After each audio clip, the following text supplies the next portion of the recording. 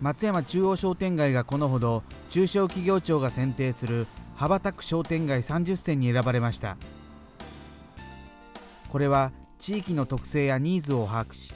創意工夫を凝らした取り組みを行い商店街の活性化や地域の発展に貢献している商店街を羽ばたく商店街30選として中小企業庁が選定したものです。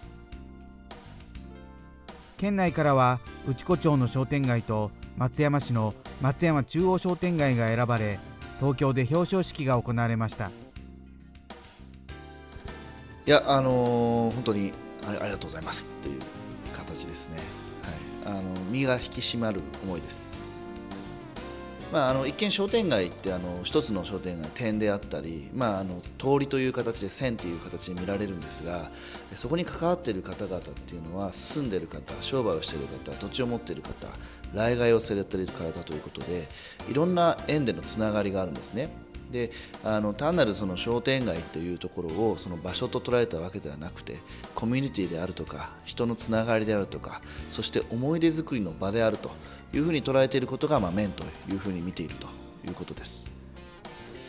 あのやはり商店街っていうと皆さんいろいろ昔からのことイメージを想像されると思うんですがあの正直、えこれからは新たに拠点ということで、えこの場所であったりまあ、地域そして松山市全体を考えていくということが必要だと思っていますし、ま、それに対しての実証実験のような形でこのまちづくり会社っていうのは今